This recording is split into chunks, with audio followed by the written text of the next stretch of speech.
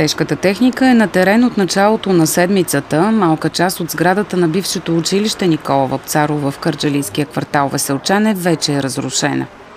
Разрушаването на е, училището е в ход. За съжаление, училището доста от дълго време е, е в такова състояние, което застрашава живота на хората в квартала на минувачите.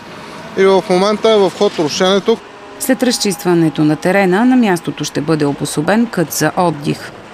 На мястото на това училище ще бъде изграден а, модерен парк с съоръжения, с играчки модерни.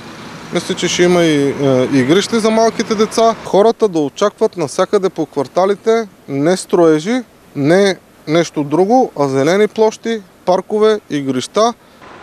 Събарянето на сградата трябва да приключи до края на тази седмица. След това фирмата изпълнител ще започне разрушаване и на постройката на така нареченото недостроено училище в квартал Възрожденци. Там също се предвижда изграждане на малък парк.